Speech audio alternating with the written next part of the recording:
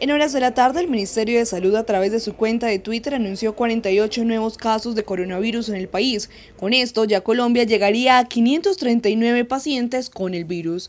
Dentro de este aumento está el departamento del Quindío con tres nuevos casos para un total de 15. El departamento de Caldas con dos para completar 12. Risaralda se mantiene en 19.